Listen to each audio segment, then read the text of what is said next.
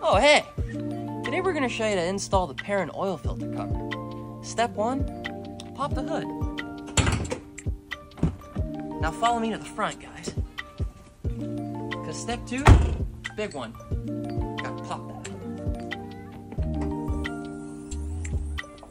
And step three, the most important step of all, install the oil filter cover.